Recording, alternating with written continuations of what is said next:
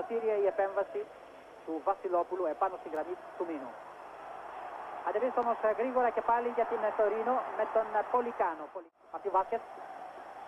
Πολικάνο σε καλή θέση, επικίνδυνο είναι ο Πολικάνο και φάουλ του Παύλου Παπαϊωάννου στον Πολικάνο.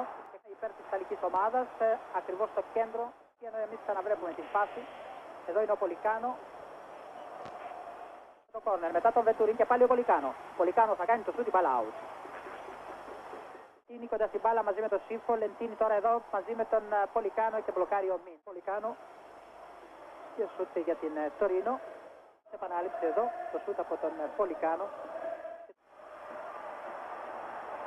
Από τον Πολικάνο η μπάλα για τον Μαρτίν Βάσκετ. Μαρτίν Βάσκετ τώρα. Μαρτίν Βάσκετ μπροστά για τον Πολικάνο. Πολικάνο για τον Καζαγκράντε, η κεφαλιά και γκολ. Ήταν του Πολικάνο. Ξαναβλέπουμε τώρα εδώ τον Πολικάνο. Την θαυμάσια και από τον Πολικάνο και πάλι στον Καραγκεζόπουλο. Καραγκεζόπουλος και πάλι μπροστά για τον Πολικάνο. Τρέχει ο, ο Καραγκεζόπουλος. Πολικάνο. Μετά την επιτυχία ιδιαίτερα του γκολ για τον Πολικάνο. Πολικάνο επικίνδυνα για τον Μίνο. Κάνω εδώ στο πρώτο πλάνο τώρα και το σούτ που έκανε στα χέρια του Μίνου.